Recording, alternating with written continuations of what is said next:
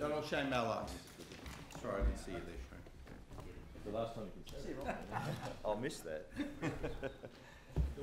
Thank you, Mr President. It was an honour to attend uh, the uh, inaugural Brent Kelly Hearts Under the Stars Foundation dinner earlier this month.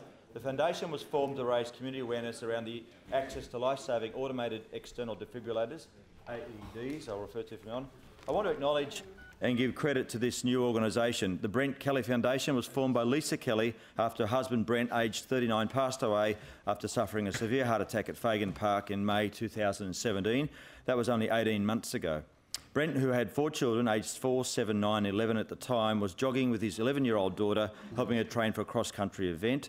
As Fagan Park is in a remote area of Sydney, it took ambulances considerable time to reach Brent. There was no defibrillator at the park, and sadly, he lost his life. The foundation in his name um, has a purpose to co collaborate, assist and influence all levels of government, the health, medical and research industry, corporations and community groups to allow every Australian access to a life-saving defibrillator when needed.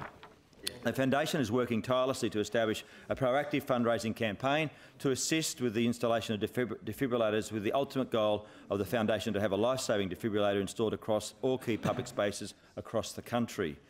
Um, but that, Mr President, they are more ambitious than that. Uh, they want to see defibrillators in police cars, in fire, fire engines, in taxis, uh, common across area. In fact, they're working on developing an app so you could locate a defibrillator quite close to where you are if it's needed. They're also working hard to educate and inform the public about the importance and vital role defibrillators play when a person has a sudden cardiac arrest and establish a nation, national awareness campaign on where and how individuals, businesses and community groups can locate the closest defibrillator in an emergency. It's hard to think about it, it's sad to think about it, but if there had been a defibrillator at the park or nearby, Brent may still be alive with us today. This is why our government is committed to ensuring that no other family has to go through what Brent's family has gone through. The Brent Kelly Foundation must have had a positive impact.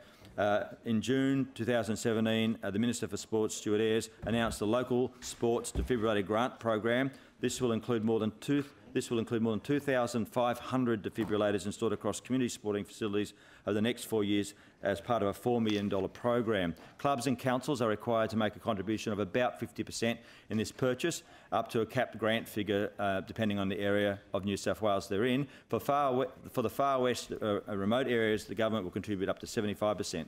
The service providers for defibrillators are con contracted to supply an AED familiarisation and support training for at least six years after the purchase. In the first round of the program, over 420 applications for defibrillators were approved for sporting clubs and councils. The second round is closed and Minister Ayres has begun to announce the successful grant applications. The ultimate objective is to see an AED in every sporting facility across the state, and I think that's very laudable. I noted on social media only today members of parliament uh, um, um, with community organisations such as Surf Lifesaving Clubs uh, uh um, announcing the um, awarding of grants. I'd like to take this opportunity to congratulate the government on the local sports defibrillator grant program. This program is saving lives and is preventing avoidable deaths across the state. More than, more than 33,000 Australians experience cardiac arrest every year and early CP access to CPR and a defibrillator can influence survival rates of up to 75%.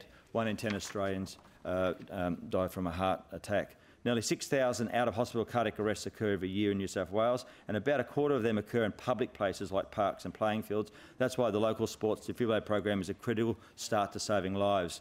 One of the challenges for the Foundation is to remove the fear of using a defibrillator. In fact, one uh, a defibrillator uh, was just demonstrated to me by Professor Jamie Vandenberg of the Victor Chang Cardiac Research Institute on the night of the Foundation dinner. Amazingly, the defibrillator, when simply opened, uh, instructs, uh, verbally instructs you on how to, how to apply it to save a life. I would like to commend the Brent Kelly Foundation on its hard work in raising public awareness and its advocacy for wider availability of defibrillators in public places.